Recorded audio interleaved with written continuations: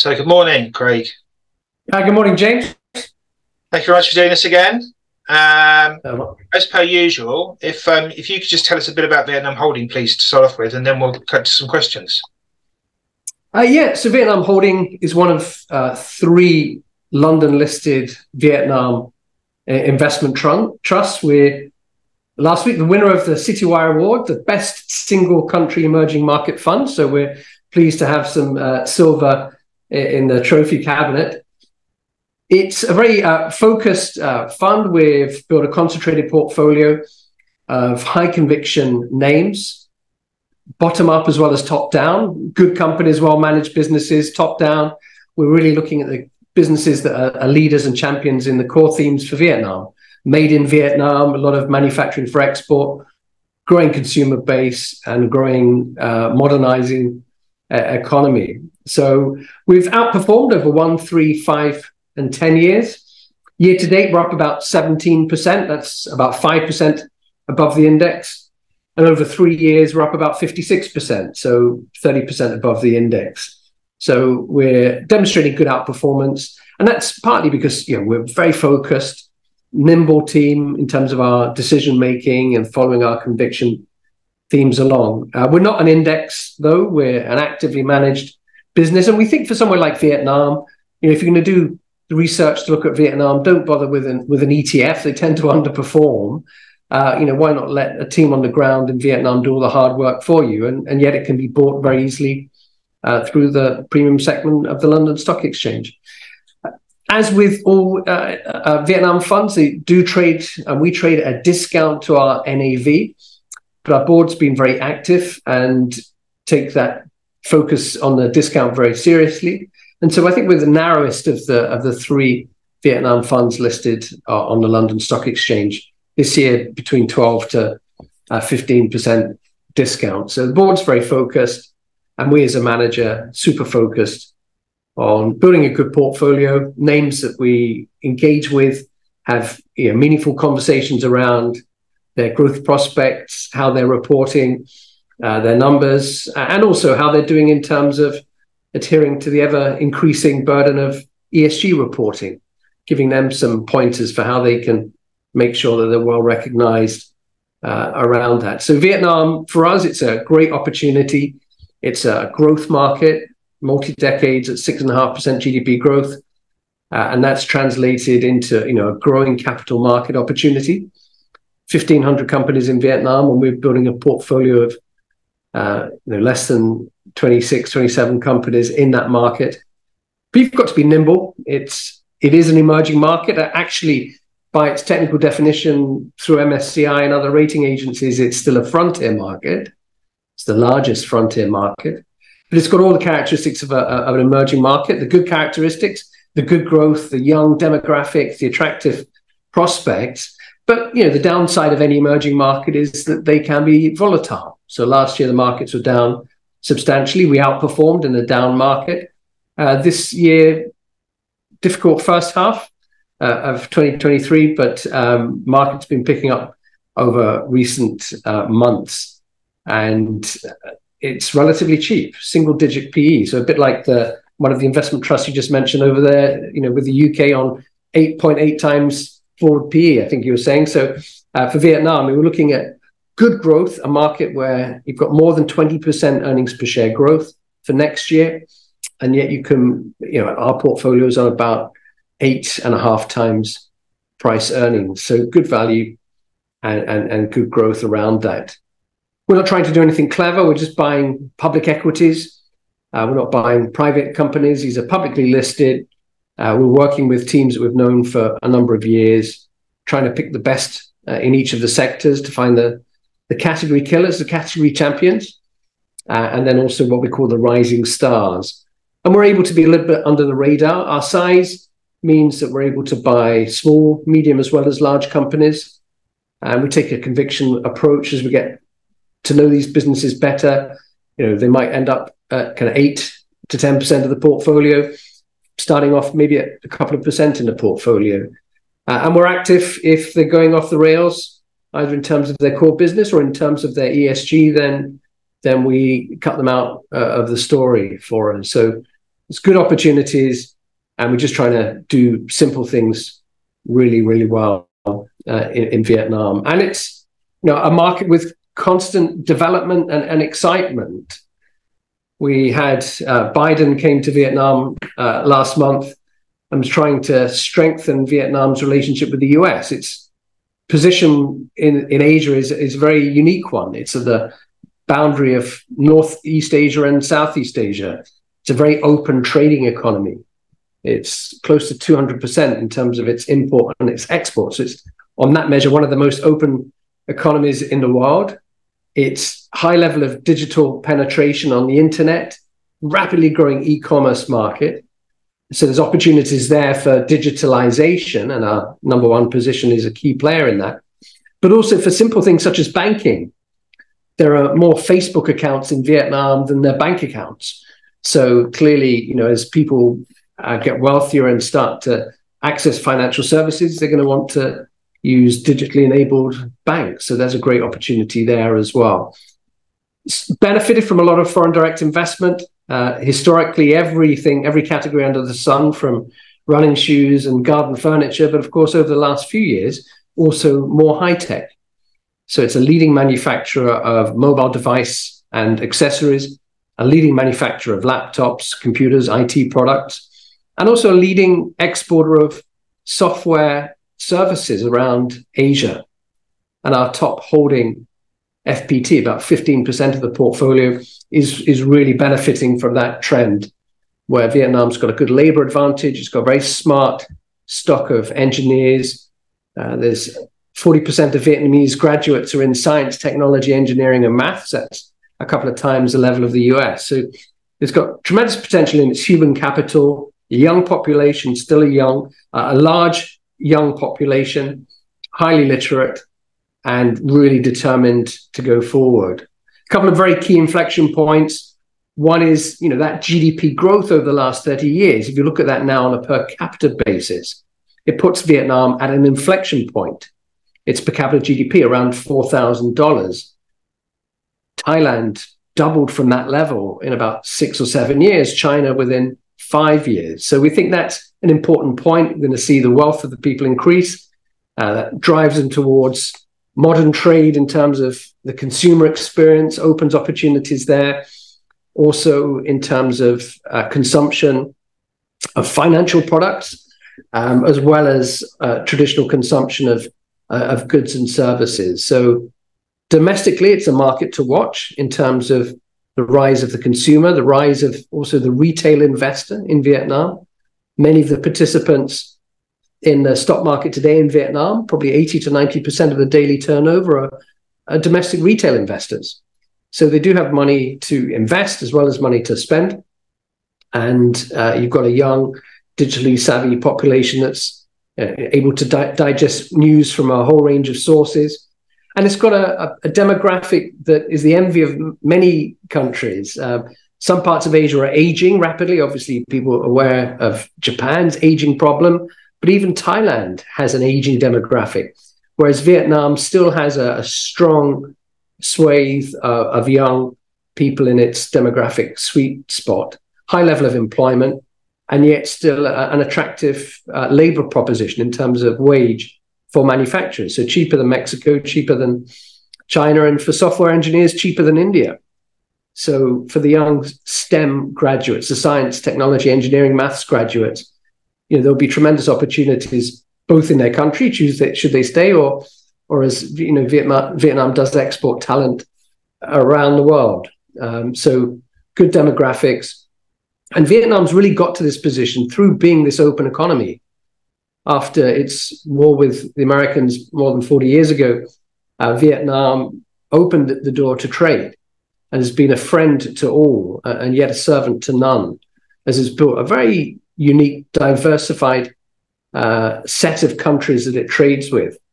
Uh, and over the last few years, it's been a real beneficiary of uh, the move against perhaps people being so dependent on China and so we've seen uh, the China plus one story and, and, Vietnam increase its exports dramatically to the US, uh, which is also why Biden was over to, to see Vietnam award the US with a, co- a comprehensive strategic partnership level, which it already has with China and Korea and a few other places. So there's a lot of interest in being a, a trading partner to Vietnam, uh, using its uh, resources for export. So that drives a lot of the foreign direct investment that we've seen. And despite this year being a difficult year globally, the record levels of foreign direct investment into Vietnam, and most of it's going into the manufacturing sector. There's been a lot of talk recently about how uh, uh, and what role Vietnam plays in the semiconductor supply industry. Some mixed stories. There's some news about some people not increasing their investment in Vietnam. But there's news of others, particularly from Northeast Asia, of doing more investment in Vietnam in semiconductor assembly and test and in uh, design of semiconductors. Probably not going to see manufacturing of devices in the purest sense, like a foundry, but packaging, assembly, and test. Uh, and increasingly, we see people wanting to expand or, or, perhaps diversify the supply chains, some to onshore back to the US, some to nearshore to places like uh, Mexico, uh, but also countries like Vietnam are still positioning themselves uh, for that. So you've seen tremendous growth over less than 20 years in terms of the manufacturing output, in terms of its growth and share of GDP, and the boom in exports uh, since Vietnam started to come onto the world stage 40 odd years ago. And it's been taking market share from China in the trade wars that kind of started la- the last time Trump got in the, in the White House. Uh, and then more recently, as people have been perhaps battling between the US and China as the he- hegemons and who's going to be the biggest in, in the schoolyard, uh, that has also helped Vietnam's position uh, be cemented in terms of a of a great place to to be manufacturing. And the Vietnamese government is very adept at this and, and wants to court international trade, international investors. That's why they have 15 free trade agreements with various countries around the world, both bilateral as well as multilateral. It's got a very strong position with ASEAN as well. The other interesting inflection point that we uh, look at is the urbanization. That's the percentage of the population living in, in the cities. It's still very small. Vietnam's at 38%. That was Europe in the 1950s. And when China got to that level in 2000, it doubled again in 20 years. So we see that the cities in Vietnam will grow, the productivity will increase, average incomes will go up. There's more efficiencies and economies of scale, making the labor more attractive as well. And that urbanization will also see other benefits, uh, pushing modern trade, uh, increasing the demand for uh, good infrastructure. And so the investments in infrastructure will have a multiplier effect on the economy. So it's got a long way to go, but it is growing rapidly. Um, you know, getting to the levels of other parts of Southeast Asia. So the consumer's strong, um, despite weaknesses in the early parts of the year. The prospects are high, particularly for this digitalization. So we're seeing, you know, 20 to 30 percent growth per annum in the different parts of the digital story, uh, both in terms of e-commerce as well as um, using you know, digital for financial uh, services and for uh, products and services uh, in the broader economy. So that's something to keep a very close eye on as that internet economy surges forward. And we see 35 million more Vietnamese middle class consumers in the next five to 10 years. So uh, a, a, long way to go, and Vietnam continues to punch uh, above its weight as the economy becomes richer. So we will see over time this changing retail landscape. It won't be anywhere near Singapore uh, or even uh, Malaysia, uh, as we're showing on, on the chart here, but we are seeing uh, that modern trade penetrate more uh, as people are trying to get good value, but also in a safe environment with easy to understand product history. And so the consumer's becoming a little bit more discerning. And e commerce, which we've seen through COVID, has certainly helped in that transformation. Uh, but a long way to go to, to catch up to the more developed parts of, of Asia. Um, so the macro's still strong. Vietnam's got record levels of foreign direct investment, record levels of trade surplus. Um, the, the, export story has recovered during the latter part of this year, and yet, you know, inflation is not the concern in Vietnam that it is in other parts of the world. So, modest levels of inflation. Uh, the government has been reducing interest rates during the course of this year. Um, deposit rates are coming down, mortgage rates are coming down for investors. In fact, the mortgage rate in Vietnam is you know, maybe eight, nine percent. It's not far off the US, which I think is seven. So, um, you know, Vietnam's a different economic pulse to to much of the more developed world. And the currency, although it's been devaluing over the last 30 years, and this year we've seen a, a broader devaluation.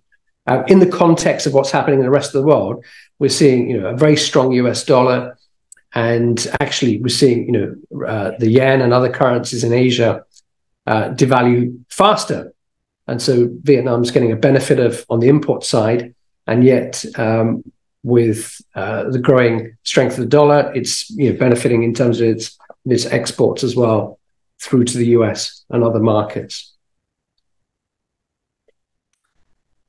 So the market is still a, a developing, emerging market, again, with a caveat that it's still seen as a frontier market. Uh, we've seen strong levels of liquidity return to the market this year. It's the, the second most liquid market in Southeast Asia a few weeks ago, daily liquidity at one and a half billion dollars, um, and that's four or five times where it was you know, just a few years ago.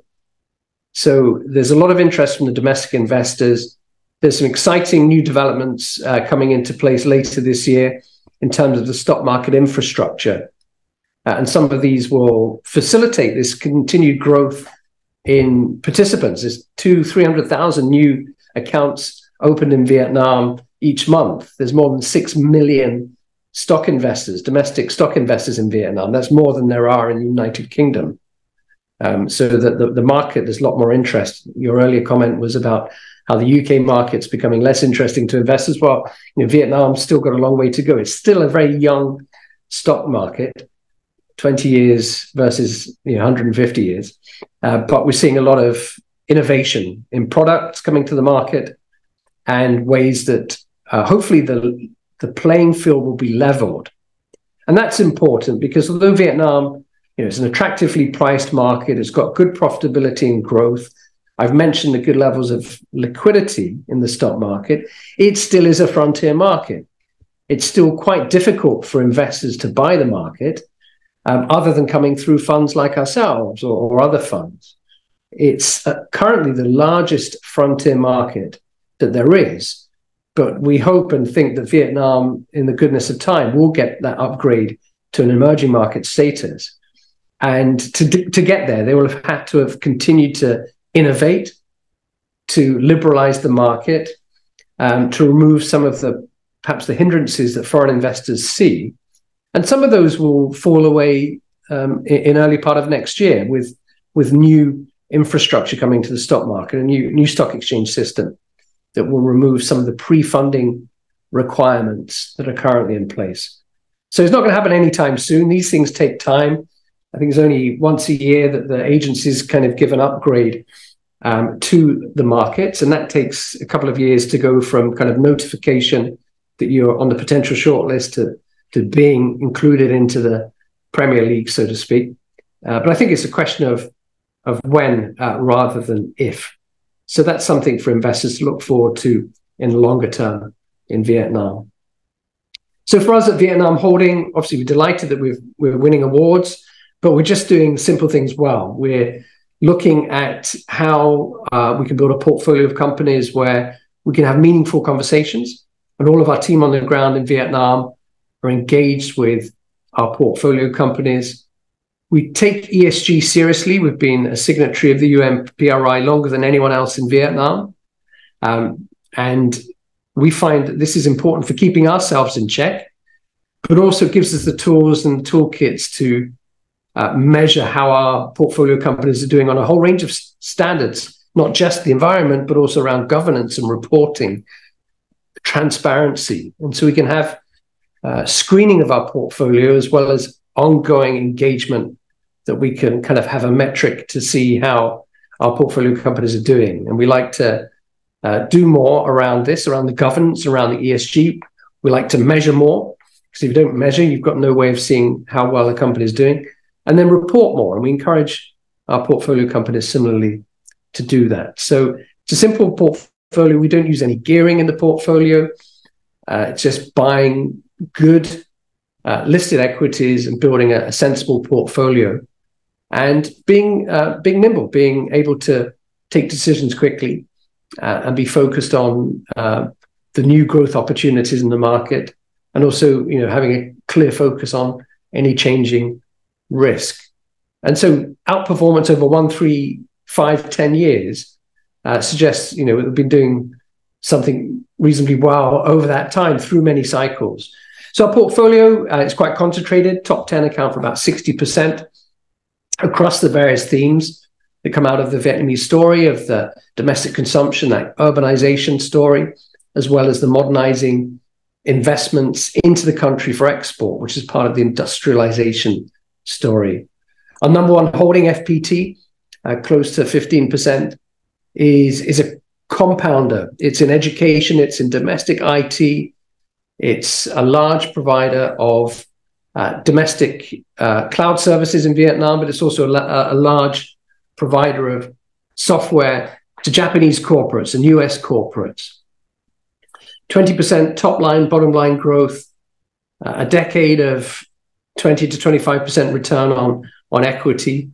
And it's also recently benefiting from uh, providing services to people looking at AI. So it's teamed up with um, a leading AI company to provide a stock of engineers that are trained on the latest in AI, including uh, generative uh, AI.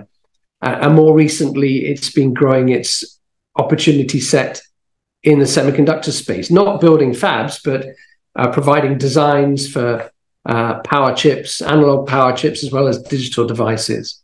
So it's a good domestic player uh, in a modern industrializing economy like Vietnam, but it's also a great exporter of software, a bit like some of the you know, the big Indian software companies at the turn of the millennium. Um, FPT is really powering ahead on many dimensions: the education, the domestic IT, as well as the uh, selling IT services globally from a relatively low cost base. Another interesting company in our portfolio is a a company which is an, an energy transition leader. It's a business, PVS, that started out life providing services to the oil and gas in- industry with a fleet of very specialized uh, anchor handling tugs, supply vessels, and, and storage infrastructure. It's pivoting, it's transitioning that infrastructure to service the growing demand for renewable energy, particularly wind energy. That's onshore as well as nearshore and even offshore, deeper sea wind energy. And Vietnam, a bit like the UK, has got tremendous wind energy potential. Um, uh, it doesn't have the, the narrow uh, seas between uh, UK and the rest of Europe. It's got a, a, vast expanse of ocean to its east. And so you're getting strong winds coming in, and it has one of the highest wind potential in, in Asia. And there are plans to massively increase both the domestic amount of wind energy in Vietnam, and PVS is well positioned for that, as well as providing its expertise around the region. So in Taiwan, it's looking to implement, deploy, and maintain wind farms. And with Singapore, uh, you know, one of the most developed countries in Southeast Asia, PVS is looking to export renewable energy. So it's teaming up with a very leading company in Singapore to lay the foundations for a, a thousand kilometer undersea cable, which would be probably one of the largest in the world, which would be bringing the renewable energy that's generated in Vietnam, the surplus, eventually to to Singapore and the rest of Asia.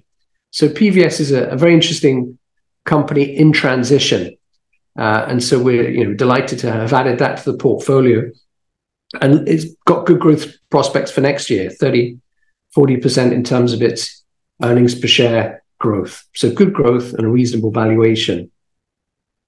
And then finally, just as an example of one of our other sectors, we have Gemadep, which is a, a logistics champion It's got several ports that it operates throughout the country. And if you believe, you know, that Vietnam is a good place for made in Vietnam, you can either pick an individual factory or a company, but that's quite risky. So our approach has been to look at the business to business service providers, the linkages in that chain. So whether you're buying an Adidas or a Nike pair of trainers, it's got to go on a container. And so Gemadep is one of the key players in both the sea cargo within Asia as well as globally, and also in air cargo. And we see that it's a business that's at a relatively undemanding valuation currently, and next year could grow its earnings per share by another 30 or 40% after quite extraordinary year this year. I should say, however, a large part of its earnings per share growth this year was by being nimble around its balance sheet, by divesting underperforming assets and then putting the proceeds into new growth parts of its business. So it it booked quite some significant, perhaps one-off gains in 2023.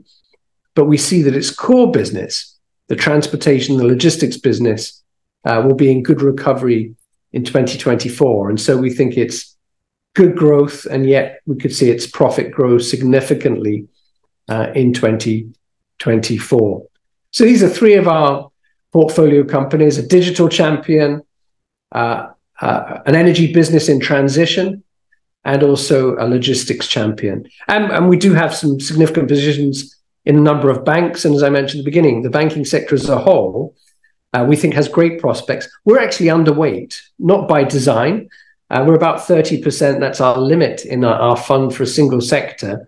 The actual market in Vietnam is probably close to 40%. Uh, but nonetheless, we've picked a few solid banks, and we see that that um, sector will have long multi-year growth as the number of participants in the banking sector increases in terms of the customers, as the products become more sophisticated. And the banking is a great way to play the broader opportunity set in Vietnam. And the banks are, relatively cheap, uh, one to 1.2 times price to book, and yet with you know, 20% returns on equity and, and good growth prospects. So we're happy with our portfolio. We're uh, nimble around the opportunity set, and our aim is to find you know, good compounding businesses and engage with each of them on their own development. We see some of them go from small cap. Uh, PNJ Phu Nhuan Jewelry, our, our number 10 position on our portfolio, was $100 million only in market capitalization when we first bought it and now it's north of a billion. So you know, we're able to see tremendous growth across some of the uh, the portfolio picks, and that's leading to our outperformance. So easy to buy the Vietnam story. Don't bother with ETFs, but you know, have a look at uh, the investment fund opportunity and Vietnam Holding. Uh, VNH is the ticker. Um, has demonstrated very strong outperformance to its peers the other London listed funds as well as the broader broader index. Great, thank you, Craig. That's a covered a lot of ground there. Um, couple of questions there that popped up. I might jump around slightly. So, uh, first off, thinking about that issue with the MSCI and the frontier market thing, is it true that FTSE's already upgraded you or upgraded Vietnam to an emerging market? Uh, no, they're, they're looking. There's some talk around um, putting it on a on, on another um, kind of emerging market category sooner ahead of MSCI, but uh, not not yet. Um, th- there's a few of these kind of index uh, raters, so they uh, they think that the path will become easier when the new exchange infrastructure is in place and the pre-funding of accounts has been removed. Uh, whereas for MSCI's 18 check boxes, uh, a large part of that's around foreign ownership limits and how much of the index is still constrained by foreign ownership limited stock. So uh, nothing yet, but it could be the FTSE would be before MSCI. Yeah. And we have, we have seen in other markets where that's happened, so really enormous flows of money and quite big spikes in uh, the market. Um, so well, we just have to wait and see what happens. Yeah, it's a couple of years out. Yeah, it's a couple yeah. of years out. Cool. Um, Vietcombank. um, well, the question really is, is around state-owned enterprises and your and your your views on these and, and whether um, they're a good thing to own or something to avoid, or and, and is that one of those? Well, it's interesting, isn't it? Yeah, um, there's always kind of like a uh, an understanding that if there's any you know state-owned enterprise or state involvement, it's a bad thing, which is not necessarily the case.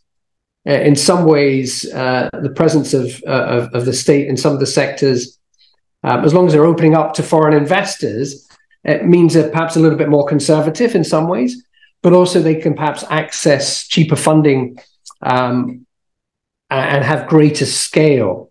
So I think uh, we wouldn't go into an entity that's just a pure uh, state-owned entity and has no has not been able to demonstrate that it's changing its thinking and its product and its approach. So with some of the state-linked companies, you can still see tremendous improvements around that. And the stock market's only 20 years old in Vietnam. So many of the companies, a lot of them have, have been started through entrepreneurs, but many of them have had you know, historically state involvement to a lesser or, or, greater degree. And some of them have emerged, you know, like FPT and like Gemadept as you know, foreign owned and and uh, and privately owned businesses that have grown great guns. Uh, but for some of the banks, they're still in some of them there's still um, state uh, involvement. That's not necessarily a, a bad thing. Sometimes they end up doing a bit of national service um, and you know taking on some weaker banks. That's something always to keep a, an eye about. But they've got a very strong position in foreign exchange, strong position in uh, being the banker's bank, uh, and also in partnering uh, with the growth and investment in the infrastructure and partnering on the multilateral agencies, uh, ODA uh, from various countries, and you know, people like ADB investing as well. They would partner uh, with Vietcombank and others as well. So, um, yeah, it, it's it, it's not a a, a, a barrier, uh, but it's something you've got to keep keep a, a, close eye on, particularly for perhaps smaller companies. Whereas Vietcombank is a very very large business. Right, thank you. Um, can you talk a bit about the IPO market and how that's been going recently, and also your attitude and whether you would do pre-IPO investments, which I think you are allowed to? Uh, we are allowed to. The IPO market's been pretty much dead for a, a number of years. Um, obviously, you know, blame COVID or what have you for some of that, but um, there hasn't been a, a, lot of new issuance. Um, there are a couple of companies that could come to market next year. Uh, one in the auto segment uh, and one in a few other uh, areas, some real estate uh, players and service providers. But so it hasn't been a great source of new flow for us. We can do pre IPO. So if there is a, a, business that we think is attractive, we can certainly look at it. Uh, we did um, about four years ago, we did a, a pre IPO using a convertible note, a convertible bond into a into a private logistics company. It unfortunately didn't develop its plans to list, so we exited through the prearranged mechanism, putting the bond back to the company. Um, we did also do a pre-IPO five uh, years ago in a technology business, uh, and that didn't do very well. The market was not ready for it, so we have to be cautious around that. But we're hopeful that you know next few years we will see some more IPOs, but um, it's not going to be the mainstay of our of our portfolio for some time. Thank you. Um, so, given the kind of concentration of the portfolio, how do you manage the risk? So, in some ways, by having a concentrated portfolio, it means that we're laser focused on each of our holdings. So we've got a team of uh, 13, 14 people on the ground in, in Ho Chi Minh City. And so of our analysts, we can allocate people to specific segments and to specific companies. And so we review the whole portfolio, every company, on, on a very regular basis. Formally, once a once a week, we're looking at each of the businesses, but informally through the course of a week. So it's by being very focused on changes in their uh, business environment, on their reporting numbers, and being able to react to it in a very rapid manner if we see that the conviction is improving and that there's an opportunity to see them go through a kind of step change in performance. Or on the other hand, and we saw this a little bit a couple of years ago coming into COVID, some businesses weren't very prepared, weren't very transparent, and we were able to quickly exit them. Um, and then some sectors fall out of favor. So we were quick to reduce exposure to the real estate sector as that became a very difficult market about a year and a half ago in Vietnam. So we managed portfolio risk by being on top of it. Um, obviously, we do have some limits in terms of sector limits. Banks no more than 30%, for example, single sector limits. But it's really by um, knowing the businesses well uh, and building that high conviction strategy. Start small, two, 3%. And then if we're really comfortable with those businesses, 8%. And if the businesses do really well, which some have done, of course, naturally they, you know, they, they grow beyond our kind of uh, investment level initially. So FPT, uh, we can't invest in companies more than 10% at time of investment. It's risen significantly through performance. So it's being nimble, being focused. Um, all we do is uh, is look at the stocks on a daily day, day, day-to-day basis and meet with the management teams regularly. Uh, and that's our best way for helping to mitigate risk. Uh, applying you know, sim- simple kind of frameworks and actually using ESG, uh, perhaps not so fashionably, but using ESG as a as a way to kind of uh, measure performance and see if there's any deterioration on any of the key key areas that we want to watch. Okay, thank you. Um, you talked in that last question um, about the reduction in the real estate exposure. Given what we, you were saying earlier on about the rate of urbanisation everything else, is that something you might um, take back up again? Yeah. So there's, there's two parts to the real estate story. One is industrial real estate, which plays to the manufacturers looking to build for export. So industrial parks. So we've kept uh, strong allocations to that sector. But in perhaps the residential side, it it was clear it was going to become increasingly tough. Higher interest rates, higher mortgage costs, and then uh, delays in getting approvals and then some arrests in the real estate sector. So we we really kind of reduced our exposure uh, and we're fortunate in terms of our timing. But yes, that urbanization trend, as Vietnam goes from 38% to let's say 55, 60% urbanization, it's got to build millions and millions of houses over the next few years. Um, and so it's a very strong long term trend. And so some of our core names that perhaps we have reduced them, we may well add, add back into over the next uh, year or so, and you know re- repeat the the growth that we've experienced with them historically. And historically, some of these names have done very well for us. Uh, but sometimes, you know, it makes sense to um, take some profit and uh, and bide your time and, and come back in another another moment. And so that may well be something that we look at for the real estate sector, where we're currently underweight, but we may add back to that in due course. Okay, thank you. Um, obviously, this is a growth market, and most of these are going to growth stocks. But sure, you do get some yield. Uh, is there a plan to pay a dividend in the future? Um, the dividend's currently reinvested. There's about two percent dividend yield from from the stocks, but at the moment that's gone into reinvestment, and also the board have been doing buybacks, and so that's funded part of the you know the buyback.